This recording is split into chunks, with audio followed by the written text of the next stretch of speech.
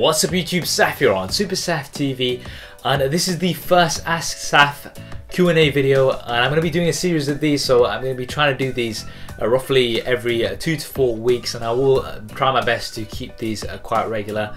Now what I did is uh, a few days ago I did a post on Facebook, Twitter, Instagram and Google Plus asking for your questions and got loads of questions so thank you for all of those. Now I'm not going to be answering every single one of those because uh, this will be a two hour long video and you'll just get absolutely bored. So I picked roughly about 10 which includes some of the most commonly asked questions. So hopefully those will be useful. As I said I am going to be doing these quite regularly now. So if you do have any other questions you can drop them in the comment section below. Now before I start the video just to let you know um, I do have a bit of a flu. So you know uh, apologies if my voice isn't up to scratch and if I don't have the energy, shall we say, that I usually do on camera. So apologies for that from the start there. So uh, let's get straight to it. Now, this is probably one of uh, the most asked questions that I get on the channel. But uh, Anas Maestro has asked, what is your daily smartphone? And congrats on hitting 100k subscribers. So firstly, thank you for that. And in terms of my daily driver, now as I mentioned, this is something that most people ask on uh, YouTube. A lot of the comments on there, what's your daily driver? It's something that I probably get asked every day. Now the simple answer to that is my daily driver is the smartphone that I'm reviewing. I am a tech reviewer, so I'm changing smartphones quite a bit and uh, I don't usually hang on to a device for too long. So at this point in time I'm switching between the Samsung Galaxy S5 the iPhone 6 Plus and the iPhone 6 so you know I want to be taking lots of different images from these and really test them out. So I'm switching between these. Hopefully it will be the Note 4 from next week.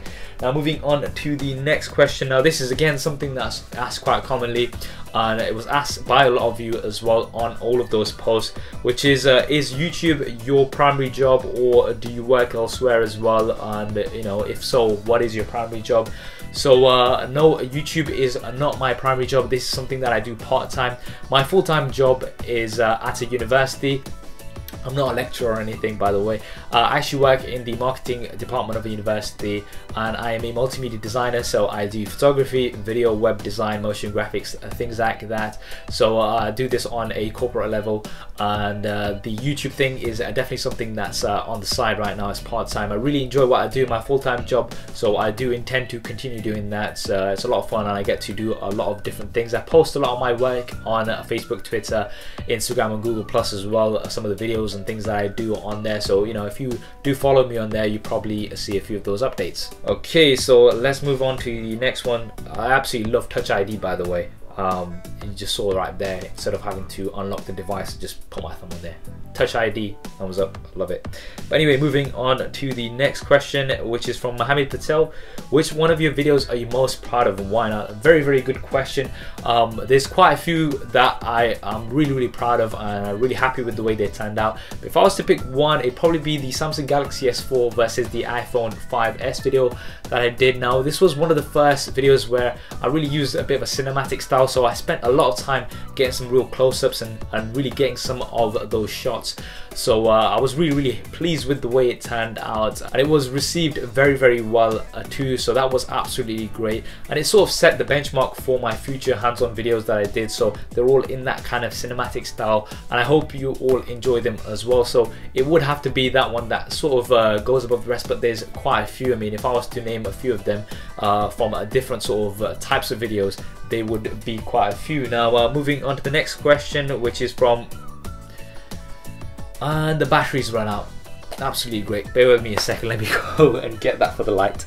Anyway, anyway, so let's get back to the question. So that was from Anurag Mohan. Where are you from? I am from Leicester, which is in the UK. Quite a simple one there.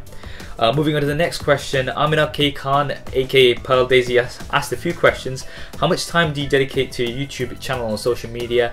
Well, um, the thing is, because I review tech, uh, this is uh, quite seasonal tech. Some some months you'll have lots of devices, like we've had in September and October. So those months I'll be dedicating a lot more time. I'll take a few days off work when there's a launch of a device, and as you'll see, I'll be posting lots of videos about the iPhone 6 and the iPhone 6 Plus. So I took a few days off work, and I was just working on that solid. But generally speaking, on a normal time, I usually allow about an hour for social media in the evenings. So when I'm back from work and I've got a bit of time, then I'll uh, send the computer, go over some social media media posts, uh, post a few things, answer a few comments and things. So that's what I usually do. I'm not really great with time management. Um, sometimes you know I'll spend a whole weekend probably not sleep so you'll see a lot of videos that are being put up really late which is definitely not good and I wouldn't recommend you do that but uh, sometimes uh, you get quite passionate and just kind of get carried away and that's what usually happens but it is very seasonal so some months I'll be spending a lot more time than others uh, she's also asked your top favorite TV shows of all time now, uh, I don't watch TV anymore. I did mention that my TV is YouTube, uh, but before when I used to watch TV, then it used to be Friends, uh, Scrubs, definitely. Third one's quite difficult. I used to really love or Lost, but uh, I didn't like the ending. I didn't like the way they ended it. Uh, I'm sure a lot of you didn't. Who, who watched Lost? Anybody watch Lost? Drop me a comment below and let me know. Uh, probably Lost, I'd say, because I did enjoy watching the series. Uh, just didn't like the ending. And uh, the final thing that she's asked is how to take a perfect beard selfie. I'm not. I'm not gonna answer that one. now moving on to the next question. Hamza Studios has asked, "What's your PC specs and what is she called?" Now I'm to answer this one because you said what is she called? So you know that I've named my PC so uh, props to you for that one because I do name my things. You might think it's sad but I do. My PC's name is Sasha and uh, the specs uh, I've got uh, an i7 processor. It's a 3770 uh, 3.4 uh, gigahertz I think it is. 16 gig of RAM. I've got a 2 gigabyte uh, Radeon graphics card on there. And the most important thing and this is something I definitely recommend if you've got a PC and you want it to run really fast for video editing and things, solid state hard drive. So I've got a solid state hard drive, 256 solid state hard drive, and then I've also got a three terabyte a normal hard drive. So that's a, a, standard hard disk drive that I've got on there. And what I do is all my software and applications are on the SSD, so uh, it runs really, really fast and smooth. You've got 10 second boot up time on Windows 8, hopefully getting Windows 10 soon as well and it works absolutely great so this is something that I definitely recommend and I've had this I have had it for almost uh, coming towards uh, one and a half two years now so maybe getting an upgrade soon but it is working quite well for me in terms of the video editing that I do now moving on to the next question which is from John Love uh, of Clove Technology great guy um, if you could save one electronic and one non-electronic uh, let me start that again. So if you could save one electronic and one non-electronic item from your house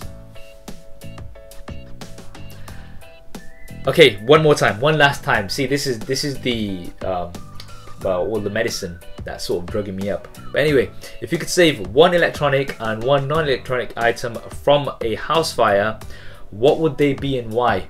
Um, so electronic is easy. It would have to be Sasha because uh, I've got all of my work on there and a lot of uh, um, all of my projects on there and things. So that would be the electronic item that I would save. I mean, like with camera and uh, phones and things, you can always get new ones. But in terms of that data that you've got on there, um, it's massive with all the video files and things. So that's uh, the electronic item. The non-electronic item, I'm not too sure to be honest. I mean. Um, not sure if I have anything that's really valuable that's non-electronic. Obviously, I'm a geek and I'm a techie, so most of the things that I own are, are electronic in some way or another. Um, it will be the YouTube silver play button when I get it. So when you pass 100,000 subscribers, you get uh, a YouTube silver play button. So when I do get that, it will be that. But for this time, I mean, it's probably one of my Superman t-shirts. I don't know. I'm not too sure. Uh, Ashik Bal. Okay, sorry, I'm really bad at names. Ashik Hello dear, how did you start funding your YouTube channel initially since all this technology is expensive? Yes, technology is expensive. Now what I did initially is um, I used to just review things that I had bought myself. So for example, my smartphone and things, everybody buys their own smartphone. So what I do is that what something I bought myself, I would do a review on it. So that's how I initially started off. And the other way that I really did it was um, by uh, borrowing things from family and uh, family and friends. I mean, the Nexus 7 was one of the first hands-on reviews that I did. Uh, that was actually my brother's. So Riz, love you man, thanks for that. Um, he actually uh, got the Nexus 7 and he was like, why don't you do a review of this? Because I, I sort of uh, advised him to, to get that tablet and he was like, why don't you do a review of it? So he let me borrow it for about a week. So, um, you know, I did the whole unboxing I did uh, the review and that one I did really, really well. And that's where I sort of started off. And yeah, I mean, that's what I advise as well. You don't have to be you know really rich or anything to uh, review tech if that's what you want to do. I mean, if you want to do something else, that's totally up to you. But if you do want to review tech, then the best thing is if you've got family and friends who are, are buying things. I mean, I'm sure there's going to be lots of your family members who are going to be upgrading upgrading their phones and buying new phones and things. And if they're nice enough to uh, let you borrow one of their devices for a bit, that's a really really good way uh, to get yourself started. So uh, those were some of the questions that I've picked out on there. Hopefully the questions that you were after have been answered in this video. Now, as I mentioned, I am going to be doing this a lot more regularly, so roughly about two, uh, two, four weeks. So if you've got any questions, then drop them in the comment section below.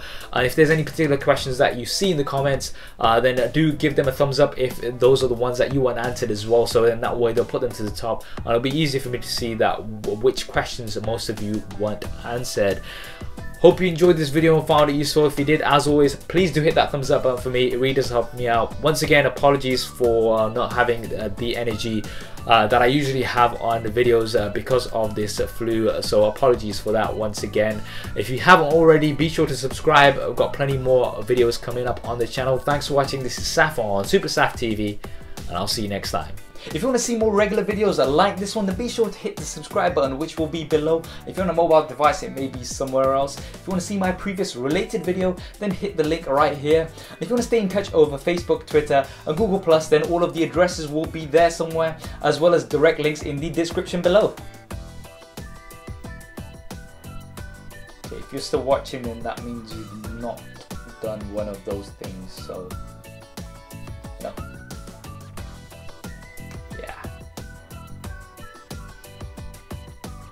anyway, um, I'm just I'm just gonna go um, downstairs. See. Okay. Um, th there isn't really a downstairs. Anyway, so yeah.